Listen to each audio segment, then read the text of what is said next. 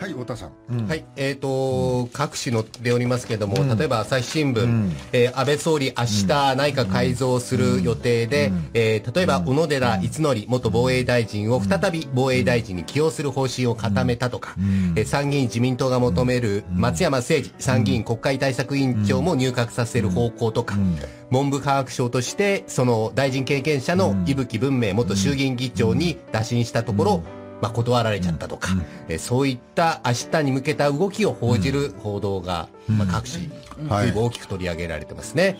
そうなんだよね。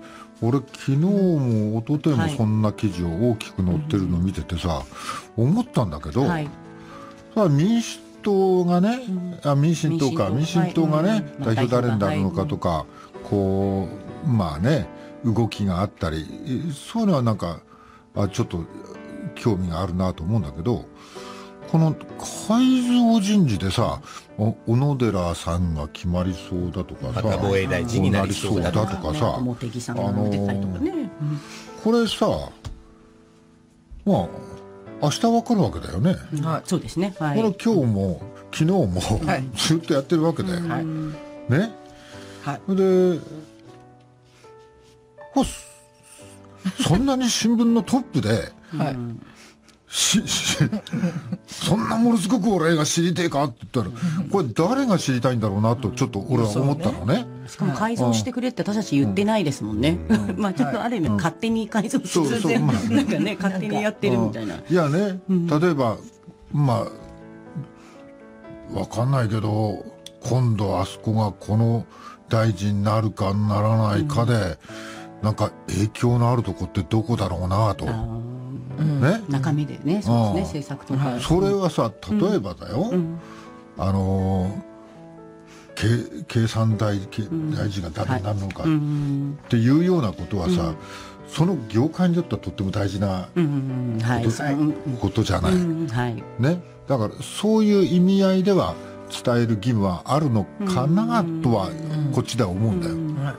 でもトップでそれはなんか日経とかね業界誌がねとかってやるならはい。からない、トップでさ、それはこう内閣があの政治政治部の記者たちがいてそれで記者たちがこうなりそうだよああなりそうだよっていう情報をかき集めて書いてるわけだろ、うねえ。そうですね。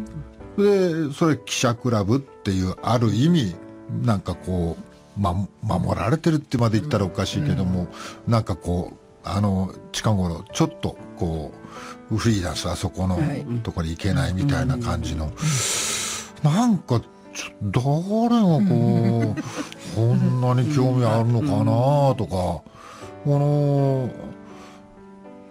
意味がわちょっと分かりづらい。誰かこうこういう意味があるんですっていうことをさ、教えてくれる人いない太田さん分かるこの意味、うん。うーん。まあ、その例えば安倍さんが起死回生で支持率を浮上させるためにどういう顔ぶれを持ってくんのかなとか、それうまくいくのかなとか、まあ、伊吹さん断られちゃってまたダメージだろうなぐらいは、まあ、報道で思いますけどね。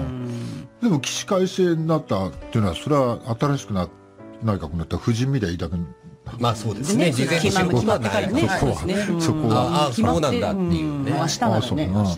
我々どうできるわけでもないですもんね。やだ、小野寺さん防衛大臣。こうしたらやだとか言えるわけじゃないですこの。人してほしいって言えるならね、あのこの大臣ね、この人に大臣になってほしいみたいな言えるならいいですけど、ね、ないですもんね。まあ世間は誰に注目してるみたいなね下馬評とか世間の声がバーッと上がってねそうなってくるんならば分かるけど民間で大竹さんを起用してほしいとかね。そうです。あでも大臣はね。民間でもいいんですもん。民ね、間民間からでも。うん人とかね。あそうかあ、そうか。あ今渋い返事。渋い返事。今今まあまあこのあれ今なんか誰かの